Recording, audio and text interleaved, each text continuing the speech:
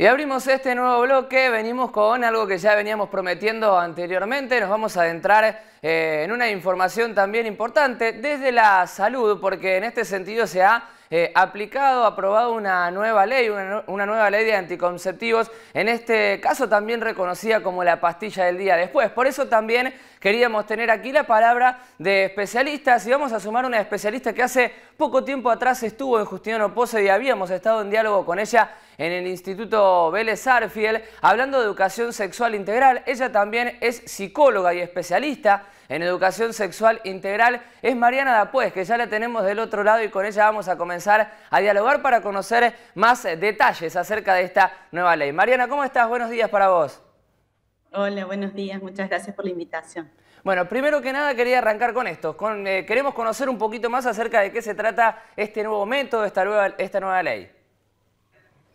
En realidad esto lo que viene a traer es eh, la posibilidad de acceso sin receta, es decir, hace que este medicamento, que es la mal llamada pastilla del día después o anticoncepción hormonal de emergencia, tenga acceso sin receta, venta sin receta, porque ya tenía la gratuidad en el marco de la ley anterior, de la 25673, donde se planteaba eh, gratuidad en los métodos anticonceptivos y consejería para jóvenes y adolescentes y adultos, ¿sí?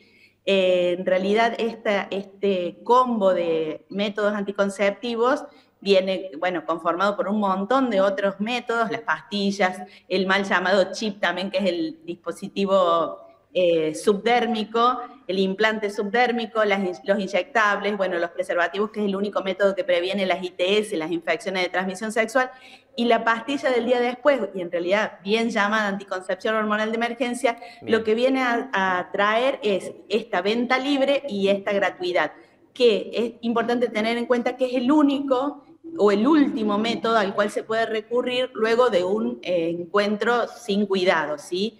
O porque se rompió el método, o porque falló, o por algún tipo de violencia sexual, ¿se entiende? ¿Y dónde se puede, dónde se puede conseguir?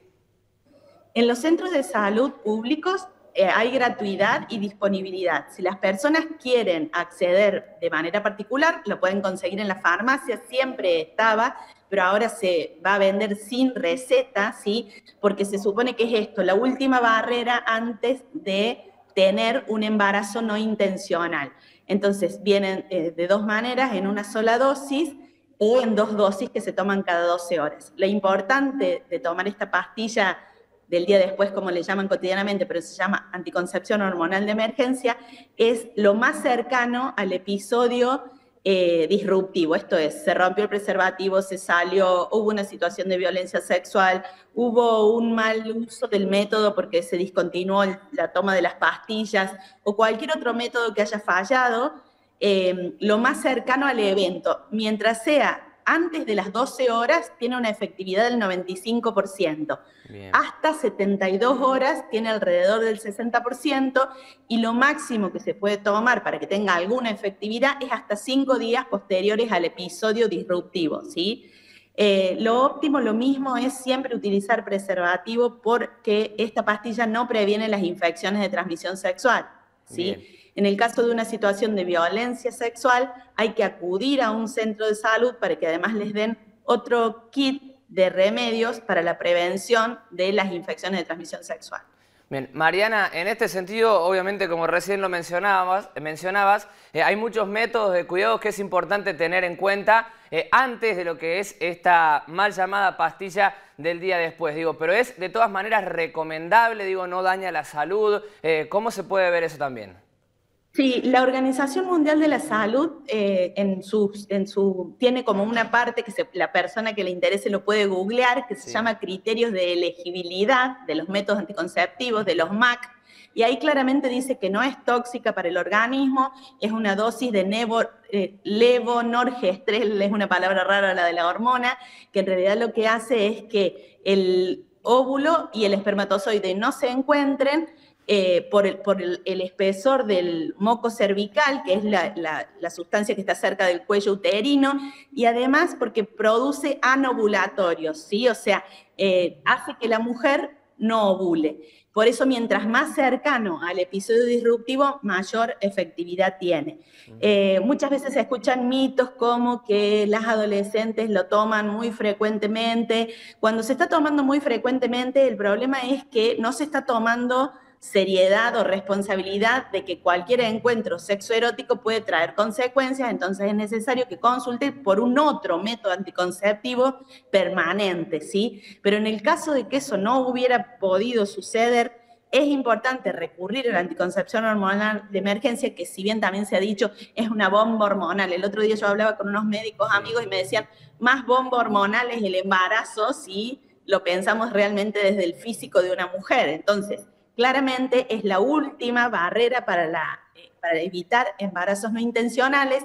No es lo óptimo tomarlo como si fueran caramelitos, como dicen los chicos o las chicas. Claramente si eso está sucediendo y se está tomando frecuentemente hay que buscar otro método anticonceptivo, pero ante la urgencia es importante y no es dañino para el cuerpo pero la idea es tomarla una o dos o tres veces en un año, no todos los meses, para eso existen otros métodos anticonceptivos que deberán de eh, solicitar también con gratuidad en los centros de salud o en las ginecólogos, ginecólogos donde concurren las chicas y los chicos, o los masculinos, perdón, que tienen por el momento solamente los preservativos y la vasectomía como modo de prevención de los embarazos, ¿sí? Perfecto. Bueno, en este sentido, ya agradeciéndote tu tiempo, digo, consejo, recomendación, eh, consultar a médico de cabecera eh, en caso de alguna duda. Por supuesto, y tener en cuenta cuando los médicos, las médicas también a veces como todos los profesionales, muchas veces nos, atraviesan mitos, prejuicios y tabúes. Cuando vemos que los profesionales que nos están atendiendo están respondiendo a lo mejor con contenidos anacrónicos, quiere decir fuera de tiempo, porque han sido formados en otra época y demás, que las y los adolescentes googleen la ley, la 25673, la 26061 de protección integral de niños, niñas y adolescentes. Por ejemplo, en el Código Civil, en la modificación de 2015, también baja la edad a los 13 años para que las personas puedan ir, puedan ir em, eh, solos o solas sin la compañía de un adulto tutor al, centro de salud eh, para solicitar anticonceptivos o consejería. Entonces siempre es importante priorizar el interés superior del niño, niña y adolescente y el cuidado de la salud integral que los vínculos sean consentidos, que haya afectividad, que haya cuidado, que sean un espacio de intimidad no solamente el anticonceptivo como objeto, sino el vínculo sexoafectivo que tenga un tipo de cuidado y responsabilidad. Mariana, clarísimo tu aporte. Muchísimas gracias. Bueno, gracias a ustedes. Bueno, Mariana pues psicóloga, también eh, especialista en educación sexual integral, eh, con un tema del cual tenemos que hablar, también tenemos que difundirlo eh, y compartir, es importante también para tener los cuidados necesarios de la salud, así que es un tema que queríamos tener aquí también en nuestro programa y agradecemos la gentileza de Mariana Dapuez por atendernos como siempre. De esta manera cerramos y ahora sí seguimos con Pau en nuestro noticiero con más información.